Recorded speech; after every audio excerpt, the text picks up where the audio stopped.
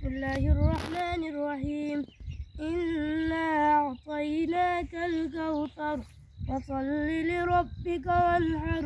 إن شانيك هو الأبتر. صدق الله